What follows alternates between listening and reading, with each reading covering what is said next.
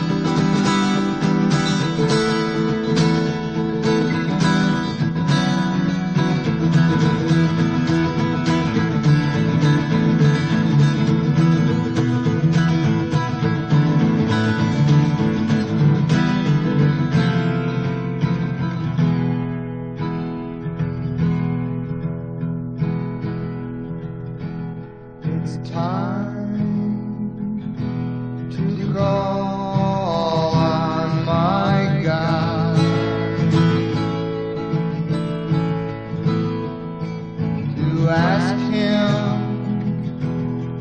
what could be done.